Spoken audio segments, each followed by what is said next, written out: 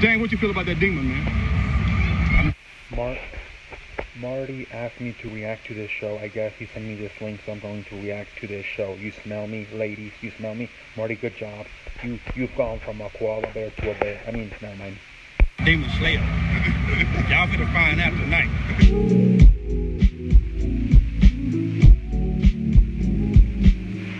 When keeping it real goes wrong. Dang, what you feel about that demon, man?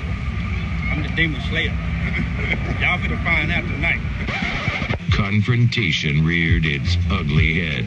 So you gonna be the, so you the Demon Slayer tonight? Be the demon slayer. Now y'all heard him. But See what it say?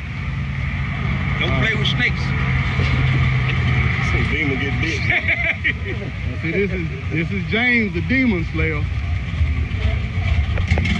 The snake and the demon. Say, man, good seeing you. Good you. I don't play that shit. I keep it real. What Darius didn't know is that Chris was a 10th degree black belt. What ensued was one of the most spectacular ass whoopings ever witnessed in the Atlantic Northeast. Your discretion is advised.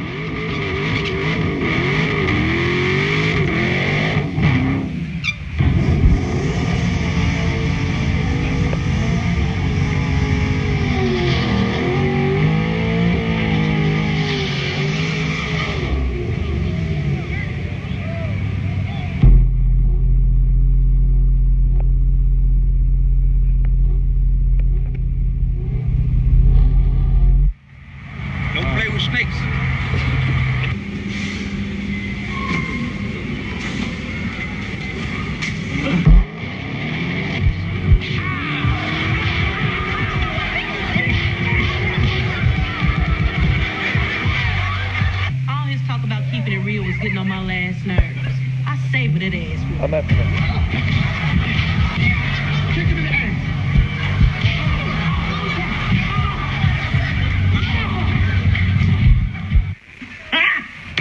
Got him! Got him! oh! Darius James showed us what can happen when keeping it real goes wrong.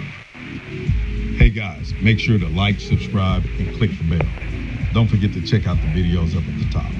Peace.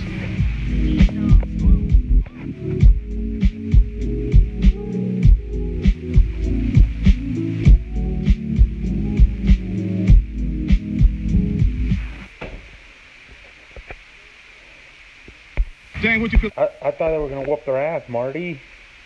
Come on, Marty. I thought you were gonna send me the the guy whooping the guy's ass. I, I, I, I'm lost, Marty. Nice car and everything, but I, I, as you can see, Marty, I, at this moment, I don't know whether to shit or wind my watch. Explain it to me. You know, I'm too stupid.